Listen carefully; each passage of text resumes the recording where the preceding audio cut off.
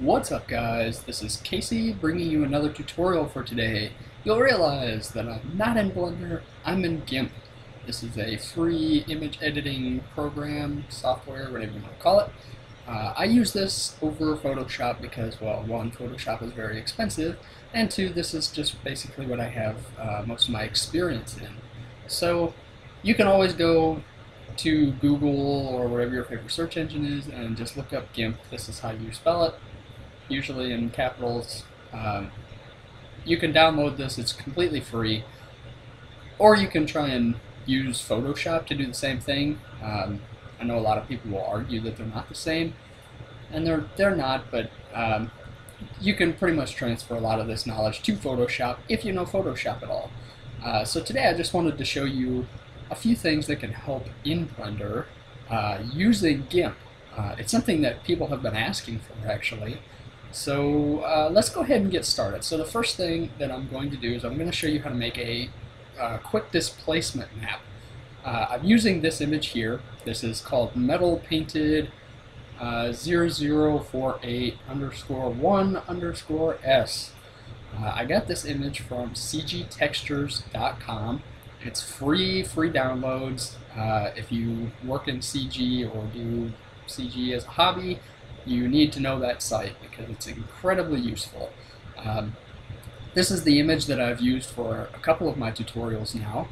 Uh, and I've, up until now, I have had this on my website um, in the displacement form so that you guys can use it. But now I'm going to show you how to make it.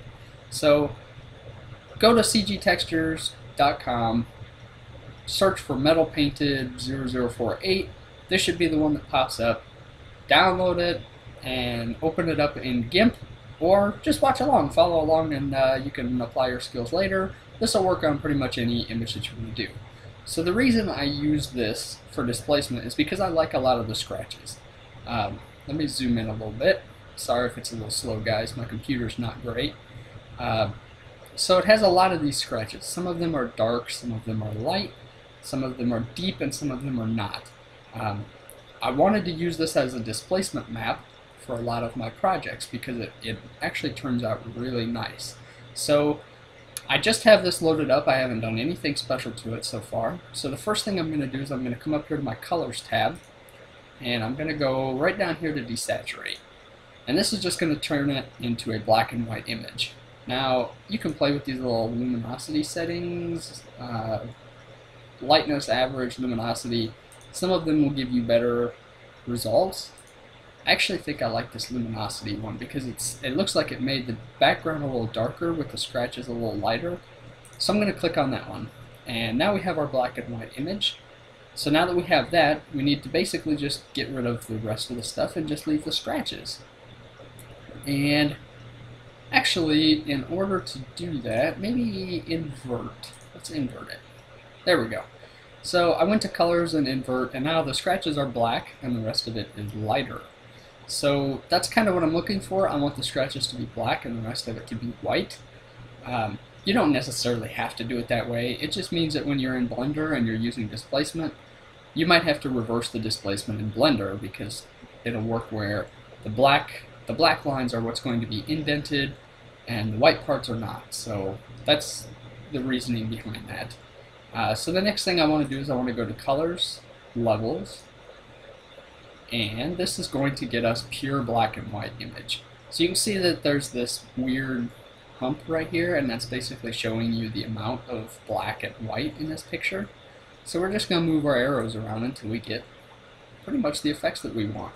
So as I move the right arrow, this white arrow, you can see that the white gets whiter, the lighter colors get lighter, and as I move the black in, the black colors get blacker. That's pretty much how this works. So I'm going to move this middle one, that's my grays, towards the black. Maybe all the way to my black. Get rid of a lot, a lot more of them. Move my white color in a little bit more. And maybe my black in just a little bit. Move my gray and my black. Let's move it right in, right about there. Well, maybe just a little bit more. Okay. Maybe a little bit less. right there. So that's that's it. Um, I can just hit OK, and that would make a perfectly good displacement map. Has uh, tons of scratches. It would look perfect for everything that I want to use it for. I could just wrap this around an image, put it as a displacement, and we're good to go. Um, however, you can see that in adjusting the color, color levels, that it's become very pixelated. Um, so one thing you might want to do, you don't always have to do this, you can just go to blur, Gaussian blur, and let's just blur it by like, I don't know, two? Two might work. Nope, two is too much. Let me go back. Filter, blur, Gaussian blur, and let's just do one. One was a little better. It just helps to like soften the edges a little bit. Um, Blender's not going to pick up on that too much, but it, it will it will help a little bit. Uh, so that's it. That's the displacement map. That's how you make them. You can do that with pretty much any image that you want. You can make scratches. You can make dirt, sand, water, anything that you want. You can make a displacement map just like that. Um, however, you have to know that uh, the picture that we used originally is not tileable. That means that if you have to use multiple instances of the picture to wrap a model, so if you have like, uh, if, you have to do two pictures side by side or four pictures in a square, um, it's it's not going to tile correctly. It's not going to line up. So if you have multiple instances of the picture on your model, there's going to be seams. Uh, so just remember that when you're looking for pictures to actually make a displacement map for. Uh, other than that, that's it. We're done with displacements. So, guy out there that asked me for a tutorial on how to do this, it was super easy, right? okay, so anyways, um, the next thing that we're going to do is we're going to make a brush. So let me just go to new. Uh, I want to make it square. Let's do maybe like a 400 by 400. I don't know why I'm using these. I should just do this. 400, 400. There we go. And I guess I can close that. Okay, so I just have a white background, and you can search on Google or whatever your search engine is and find brushes for GIMP and you can use Photoshop brushes in GIMP too. They work one and the same. Um, if you find one that you really like, like say, let me find one here. I don't know what's this one look like. Okay, so I'm just going to increase the brush size to something like, is 200 going to be too big? Too small? Too small. Let's make it, oops, not 4,000, 400. There we go. That's the full size of my image right there, 400. And I'm using black. So now, actually, should I use black? Maybe I should use white. Eh, I don't remember. I don't know. Let me, I'm just going to click on it. That's basically what it looks like. That's one of the brushes. It's just a grunge brush. Actually, you know what? I don't like that brush. Let's use something else. Uh, da, da, da, thought I had some scratchy brushes on here, not. Mm -hmm. Something like this. What's this look like? Let's go. Alright, that's not too bad. Let's do that. Okay. So uh, basically now I have that. Actually, before I do that, I'm hitting Control Z and that's just undoing my last thing to get rid of it. Um, since it is a white background, what I'm going to do is I'm going to actually add a new layer, and that layer automatically becomes transparent. So I'm going to add the brush onto that transparent layer, like that. And then I can just click the little eyeball that hides my background, gives me just the black and a transparent background. And that's that's it. That's how you make a brush. Um, if you wanted to, you could make your own custom brushes instead of just looking up GIMP brushes like I usually do. And let me see if I can find something here. Grab something like that. Let me lower this down. Whoa, not go up, go down. Let's go like 20. It's 20 way too small. Okay, let's do 100. Much better. So I could go through and I could like, I don't know, paint a little bit on here. Like a couple scratchies. This, do like that. And the one thing that you want to make sure that you do with these brushes is you really don't want them to um, you don't want them to reach the edges of the image. You want the you want the image to be seamless when you're making a brush. So if you do something like this, if you get it off the side, best thing you can do is really just grab your eraser and I'm going to switch to just a regular fuzzy brush and I'm just going to brush around the edges like this. Like. Try and make it almost circular a little bit. I'm just getting rid of some of these, some of the edges here. So now this is tileable. You won't see uh, any seams or anything like that. There won't be any artifacts. Um, but that's basically just a custom brush. You could go through this and have a fun time doing it. I have never made a custom brush myself like this. I just use ones that are pre-made because it's easy. So I'm going to go back to this one. I like this one, so uh, let's go ahead and save it.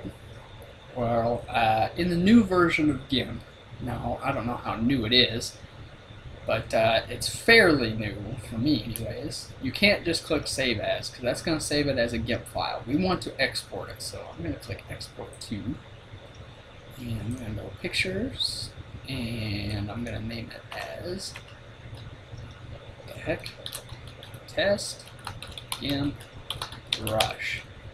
And now it, you have to add the file extension.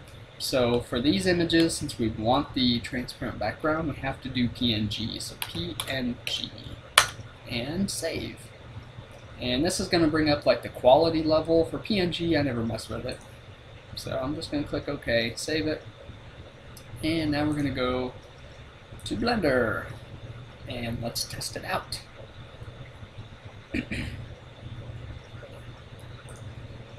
Alright, so here we are in Blender. So, if you have watched my hand-painted tutorial, then you'll know pretty much how to do this already, on how to paint. So let's go to, what am I looking for? Boy, feels like it's been a while since I've been in here. Uh, da, da, da, we need a new material on here. Okay, no, took me a minute to get my bearings. Okay, so we have our new material, and I'm going to go to my compositor, to my node editor. If I'm moving too fast for you guys, uh, check out my channel. There's a hand-painted um, material tutorial that goes really in depth on this stuff. So don't don't feel bad if I'm going too fast. Okay, so I'm gonna go texture, image texture, plop it right in here, plop it like that gonna go new. And mm. let's change the color to white. So I don't have to mess with it. Okay. And pop open that. And do, do, do. should be good to go on that. Okay, so now we just go to texture paint. Why does it say missing data? Oh yeah, because it's not unwrapped object mode, tab, U, uh, let's smart UV projected, I guess. Okay. Now we should be able to texture paint. Okay, so now I'm gonna open up my new brush. So let's go texture, new, go to my texture tab, and brush texture. Image or movie is what I'm looking for, and I'm gonna open, and let's go What's it in? Oh man, it's in my pictures. Oh no. There we go. Let's get brush. There we go. Okay. And then we want black. And we want random. Oops, not 3D, random. And there's our brush. Ta-da! And we can just use that to paint all over our 3D surface. And that's pretty much how you make your own custom brushes. Um, there are a couple of forums out there that have links to very specific Blender brushes. Um, I have one of those packs downloaded that I use occasionally. Um, it's, it's a little easier than doing it this way. However, this gives you more freedom. It gives you a little bit more knowledge of what you're doing. And all in all, it's really a nice tool to have in your in your Blender tool belt to know that you can do something like this. And we'll do something like that. Okay, so um, that's I mean that's pretty much it for that. Let me go ahead and close that out. Yes, I really want to quit. Okay. So now we're back in GIMP. And that's pretty much how you make a brush. Super easy. You can make multiple layers and layer on different brushes, different techniques. Um, pretty much anything you want to do. And uh, I guess that's it. Um, for a GIMP tutorial, that's pretty pretty simple, right? That's uh, the basics. That's really the basics of what I use GIMP for when I'm in Blender. So hopefully you guys learned a little something, and thank you guys for watching.